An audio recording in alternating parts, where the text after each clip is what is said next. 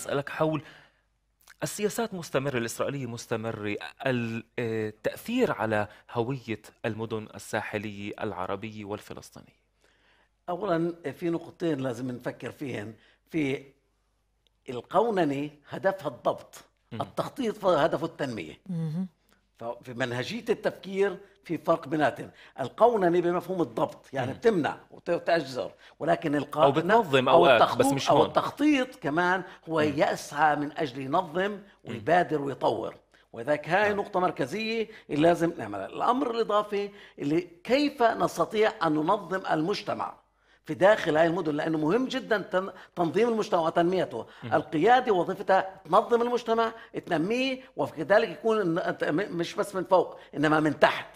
سياسات دائما في سياسات. نعم. اللي بفكر ما في السياسات دائما في سياسات. السؤال كيف نقوم بالحضور ومواجهة هذه السياسات من أجل تعديلها إثناء الاستفادة من المساحات الممكنة فيها من أجل صد اللي أنا بسميها ب- ب- ب- ب- ب- بإيجاز آه، مصفوفة الضبط الذكية القاسية والناعمة التي تمارسها السلطات إن كان الحكومية إن كان البلدية إن كان الجمعيات اليهودية إن كان أصحاب البيوت الموجودين غاد نعم. يعني ما نشوفها كأنه إشي عمودي فقط نعم. اللي موجود من الدولة إلى المواطن أي خطأ هي خطأ في قراءة الواقع إنما هو في مؤسسات كثيرة لازم نشوفها بشكل أفقي. وكذلك في مساحات بالرغم من ضيقة ولكن في مساحات كثيرة اللي ممكن الاستفادة بها من حيث أنه يجب أن نعي الإمكانيات ونقوم بالاستفادة منها.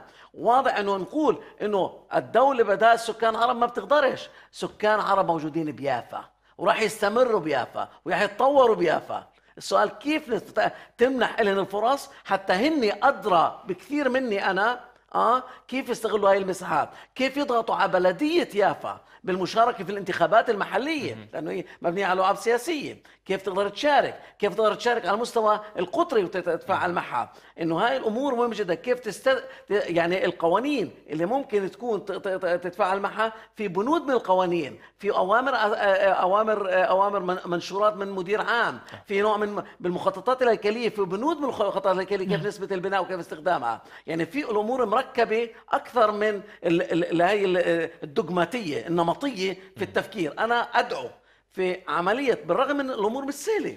أنا واعي لها ومش ساذج أني أقرأ الأمور بطريقة آه، آه، نمطية. إنما هناك في مساحة اللي يجب أن نراها في اليوم ولبكرة ونسعى لتطويرها. السكان العرب المواطنين العرب في يافا إحنا الديموغرافوبيا كل هذا التفكير الديموغرافوبي إنه صاروا زيادة هذا يجب أن نلعنه. والنظرة إنه نتعامل مع رحم المرأة وعدد الأولاد كأمر كخطر ديموغرافي هذا برأيي تعيس حتى اخلاقيا. نعم. ولذلك مهم جدا أن نعي هذه الأمور نواجه السياسات سياسات موجودة فيها صراع بين السياسات ويمكن أن نصيغ هذه السياسات. يعني ممكن أن نشارك في صياغة هذه السياسات اللي تلبي احتياجاتنا امكانياتها تصوراتنا إن كان في اللد إن كان في الرملة إن كان في عكا. وبتصور نائب رئيس بلدية عكا الأخ آه، أدهم.